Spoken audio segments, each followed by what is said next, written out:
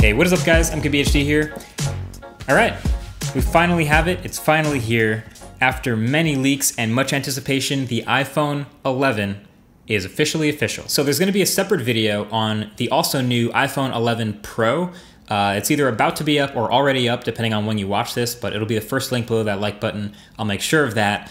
But either way, this is the new iPhone 11, the successor to the iPhone 10R, and this is your first look at it. So as you can already tell, it's gonna look and feel very familiar with uh, just a few key changes. So design-wise, I was kind of hoping for maybe a slightly different design, maybe squared up a bit, or maybe a slightly smaller notch, or something a bit more modern feeling. But that's not really what's happening here. It's almost the exact same design as the iPhone 10R, same curves, same buttons, same mute switch, same notch, same lightning port, same speaker setup, same pretty much everything. The display is still an LCD. It's a 6.1 inch liquid retina display.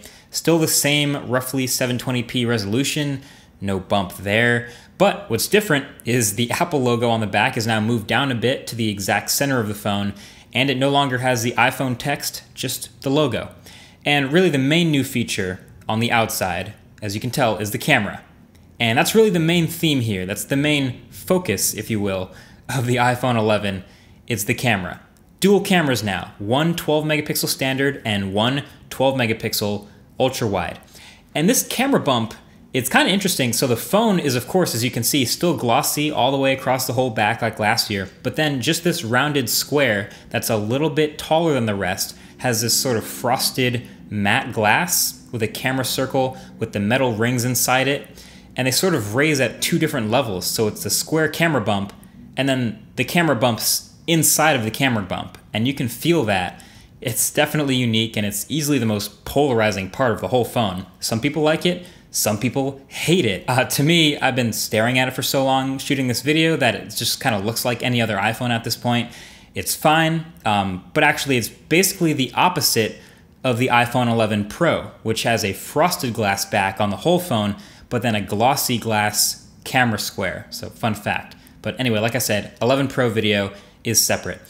I'm just pumped to have an ultra wide camera on the back of the iPhone now, and both cameras are capable of all the same stuff, both with 4K 60 FPS video, HDR, some really intense color matching is being done between them, the whole deal. And then the camera app is also updated a bit for the iPhone 11 and 11 Pro. And I'll talk about this more in the 11 Pro video because I have some stronger feelings about it uh, but generally, it's pretty familiar, but there are some tweaks. So when you first open the camera app, the app kind of hints at ultra wide by showing you this faded out extra wide shot that's wider than your current frame, but not in your shot.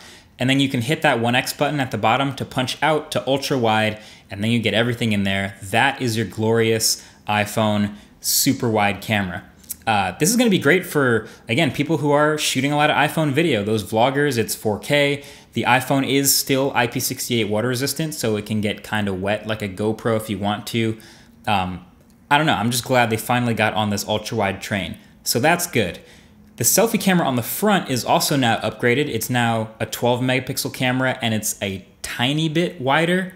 And you can access this extra little bit of wideness by hitting the little expansion button in the middle or by default, it'll actually just go wider when you flip the phone sideways because you're probably taking a group shot. But honestly, it really is just a tiny bit wider. And also now, slow motion video is now supported by the front facing camera. And for whatever reason, they decided to name this and they're naming it Slowfies, slow motion selfies. Uh, that's probably the first and last time I'll ever say that word out loud. But there's also a new night mode. And this is something we've been looking forward to ever since Pixel's night sight took direct jabs at the iPhone on stage, and you know Huawei's night mode has gotten extremely good, and others have started making their own night modes. We've been sort of curious what Apple's cooking up for their night mode for the iPhone. So we have iPhone 11, we get this night mode, but as you may notice, it's not in the default modes down here at the bottom.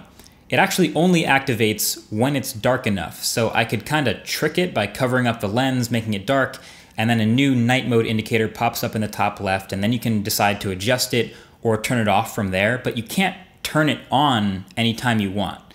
Either way, this is definitely something I will be testing for the full review along with all this other camera stuff. Very curious to see how it performs and if it's as good as what they showed on stage and as good as the others. but it's here. There's a night mode. And then the other new thing is, of course, your new specs, the internals.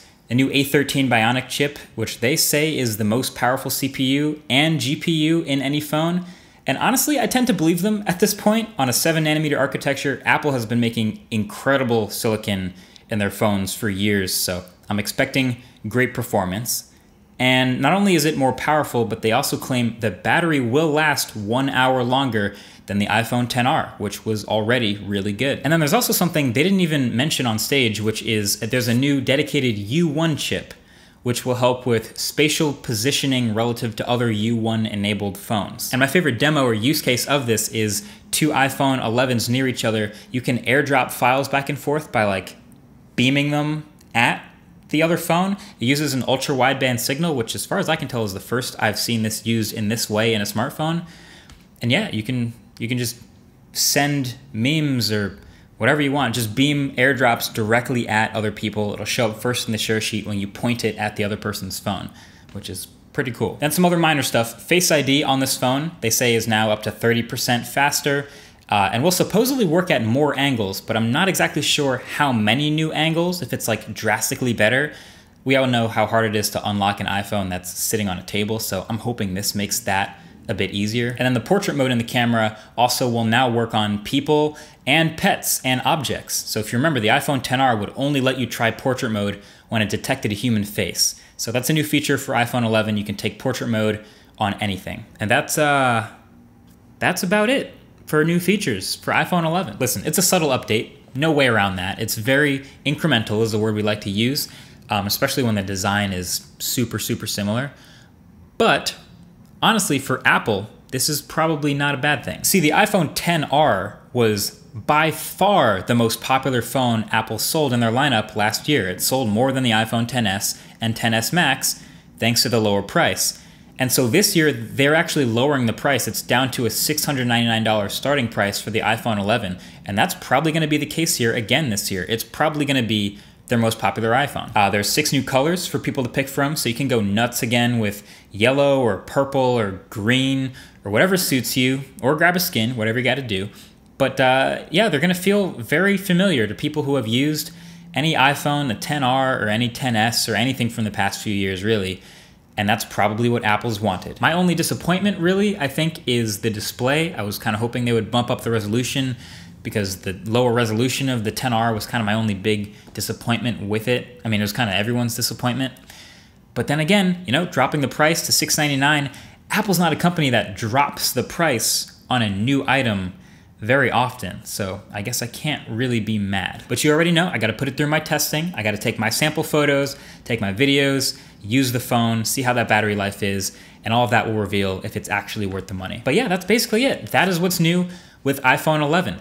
Um, feel free to share this video with others who you think are also interested in the iPhone 11, and of course, stay tuned for the iPhone 11 Pro video link below. And today there was also a new Apple Watch Series 5, a smaller update, but with an always on display now and the same battery life, which is cool.